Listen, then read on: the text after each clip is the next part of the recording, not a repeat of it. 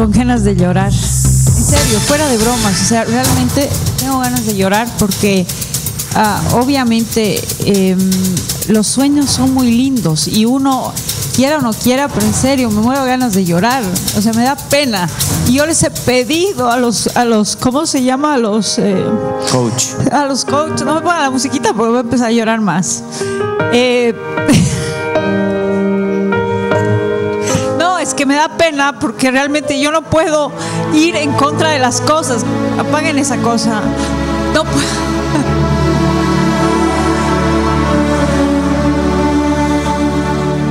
Se muerde los labios la doctora atrás. Nuestra notaria. Sí. Es que yo les he pedido a los coreógrafos que realmente ayuden a sus soñadores. Y no veo eso. En este momento yo realmente me da mucha pena, pero yo no puedo ir en contra de las cosas que tengo que dar, ¿me entienden? Yo veo que no ha sido suficiente. O sea, realmente no puedo y me duele, porque mm, eh, es, los sueños son bellísimos. O sea, no es, no es que sean bellísimos, sino que realmente te agarran el corazón y uno quiere que estén y que sigan.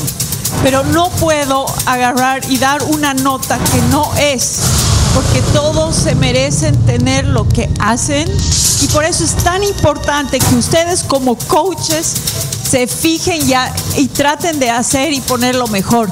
Obviamente he visto que se han olvidado así un montón, ya, y también, ¿sabes qué? Me empezó a agarrar un- una desesperación, ya, porque realmente me da pena, pero no puedo darles un puntaje bueno. Yo tengo una lista aquí, ¿no? Y veo manejo de elementos, cero. Creatividad, cero. Desarrollo escénico, cero. Desarrollo... No puedo ni leer. porque- Bueno, Carmen, pero tam- tampoco para que se ponga a llorar, señora. pero es que, ¿sabes qué? No está llorando el soñador y está Ay, llorando no, usted. cállate, porque ahorita te tuerzo el No, pescuezo, no llores. discúlpame, pero No no, es para tengo tanto, ganas. no es para sí es tanto. para tanto porque me da pena y me da rabia. Me da rabia por los coaches. Una mezcla de sensaciones, de emociones. La nota de, de Carmen, solo la registraré en la notaria. Me muero por saber la nota.